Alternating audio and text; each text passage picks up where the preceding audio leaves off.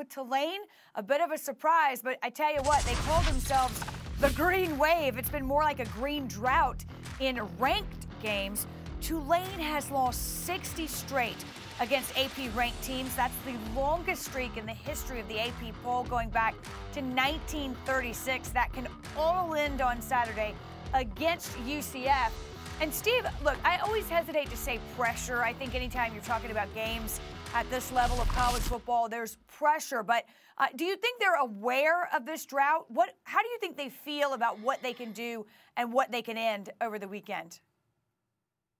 To add to that history, Wendy, this is the first time they're favored in a game against a ranked team in 60, uh, you know, 69 times in games has happened. This is the first time. So I don't, I, I see what you're saying there with the pressure. You don't want to call pressure. I look at it as opportunity. You got to think Willie Fritz and that staff has had to build this program through COVID the last couple years, and now they're here.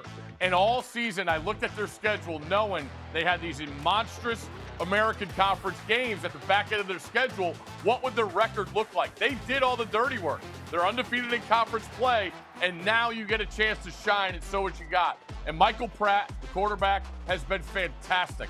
One interception since that Southern Miss loss. So I think you have everything you want. They're 11th in points per game given up on defense. You got a quarterback that doesn't turn it over. I really like Tulane's chances against UCF. And Willie Fritz has been a program builder. Everywhere he's been, he's taken programs that have struggled and have them be successful programs. Going back to 93 when he coached at Blinn Junior College. Coming into that year, they were 5, 24, and 1. Well, then in the two, three years since then, he turned them into a 36, 5, and 1 team. Georgia Southern, he turned into a winning program. Everywhere he's been, he's won.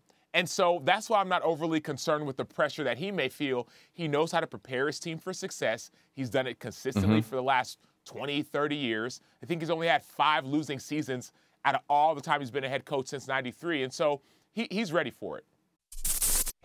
Thank you for watching ESPN on YouTube. For live streaming sports and premium content, subscribe to ESPN Plus.